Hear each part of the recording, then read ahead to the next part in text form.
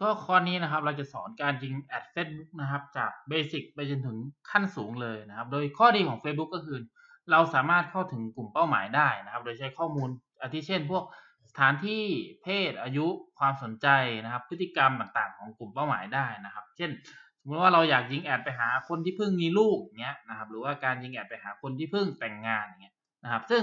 Facebook เนี่ยมันมีฟังก์ชันที่ทำให้เราเนี่ยตั้งค่าพวกนี้ได้หลายระดับมากๆเลยนะครับทำให้เรา เข้าถึงกลุ่มเป้าหมายของเราได้แม่นยำมากยิ่งขึ้นนะครับ ซึ่งผมก็จะสอนชนิดของการยิงแอดทั้งหมดนะครับ แล้วก็กลยุทธ์ที่เราควรเลือกใช้ด้วยนะครับโอเคอีกเรื่องหนึ่งนะครับที่ดีมากๆเลยของ Facebook ก็คือ เราเนี่ยสามารถยิงแอดโดยยึดจากเป้าหมายทางธุรกิจนะครับ หรือว่า business goal ได้นะครับ เช่น สมมติว่าถ้าคุณมีร้านขายวัสดุก่อสร้างเนี่ยเราก็สามารถยิงแอดโดยตั้งค่าเป็นเขาเรียกว่า location base นะครับหรือว่าเจาะกลุ่มลูกค้าที่อาศัยอยู่ในละแวกใกล้เคียงร้านคุณได้นะครับ อาจจะเป็น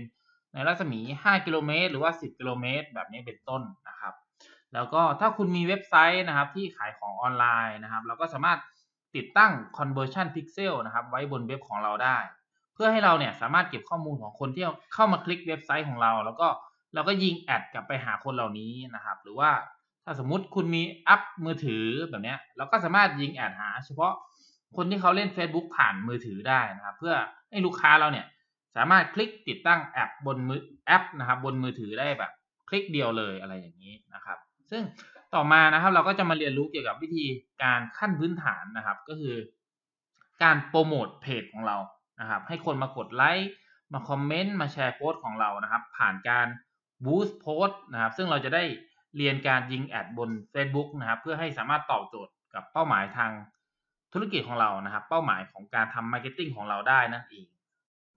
ก็อย่างที่ผมบอกไว้นะครับว่าเราเนี่ยสามารถเข้าถึงกลุ่มเป้าหมายของเราได้นะครับ หลายระดับไม่ว่าจะเป็นการใช้ที่อยู่ หรืออายุเพศนะครับ เราสามารถยิง ad หาคนที่มีความสนใจนะครับเรียก interest นะครับ หรือว่าคนที่มีงานสนใจในงานอดิเรกหรือกิจกรรมต่างๆนะครับ หรือแม้กระทั่งในอดีตเขาเคยทำอะไรมาบ้าง เขาทำอาชีพอะไร เขามีรายได้เท่าไหร่ จบมหาลัยไหนมานะครับ เราก็สามารถยิงแอดหาได้นะครับ หรือบางบางทีเราอยากยิงแอดหาคนที่เขาไป ซื้อของนะครับ ไม่ว่าจะเป็นซื้อของออนไลน์หรือออฟไลน์นะครับ หรือว่าที่ผมชอบมากหนึ่งก็คือ เราสามารถยิงแอดหาคนที่เขาไปกดไลค์เพจที่ขายสินค้าใกล้เคียงกับเรานะครับ หรือถือได้ว่าเป็นคู่แข่งอย่างเงี้ยเราก็สามารถยิงแอดหาเขาได้โดยตรงเลยนะครับ ซึ่งคอร์สเนี่ยคุณจะได้เรียนวิธีการทำโฆษณานะครับ หากลุ่มเป้าหมายที่แตกต่างกันเหล่านี้นะครับ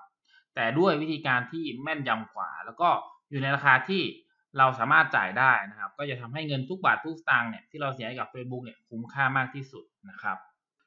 ดังนั้นนะครับไม่ว่านี่จะเป็นการยิงแอดครั้งแรกของคุณเลยนะครับ หรือว่าจะเป็นการยิงแอดครั้งที่ 500 ก็ตามนะครับ ผมก็จะสอนเทคนิคการยิง ad ที่เห็นผลชัดที่สุดนะครับสอนวิธีการเลือกรูปภาพนะครับ ชนิดของ ad นะครับ แล้วก็สุดท้ายเนี่ยก็สอนเรื่องของการทำ A/B split test นะครับเพื่อดูว่าการยิง ad แบบไหนเนี่ยได้ผลมากที่สุด ดังนั้นสิ่งที่ผมอยากจะบอกก็คือนะครับ Facebook Ad เนี่ยมันเป็นเรื่องของการ test test test นะครับ test แล้วก็ test อีก test แล้วก็ test อีกนะครับ และสิ่งที่ผมหลงรัก Facebook ก็คือ มันจะมีเรื่องของการ report ข้อมูลกลับมาที่เยี่ยมมาก ๆ เลยนะครับทำให้เราสามารถนำข้อมูลพวกนี้มาวิเคราะห์ต่อได้นะครับ เช่น มาดูเรื่องของการคลิกนะครับ หรือไม่ว่า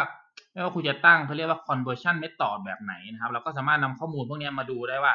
ผลจากการที่เรายิงโฆษณาไปเนี่ย เสียเงินโฆษณาไปเนี่ยเป็นยังไงบ้างนะครับ กลุ่มเป้าหมายเราคลิกอ่าน โพสต์เราไหม มีลูกค้ามาซื้อไหมนะครับ หรือว่าเราได้อีเมลจากลูกค้าไหมนะครับไม่ว่าคุณจะตั้งเขาเรียกว่า conversion method แบบไหน เราก็สามารถวัดผลได้จากรีพอร์ตของ Facebook นะครับ ซึ่งเยี่ยมมาก ๆ เลย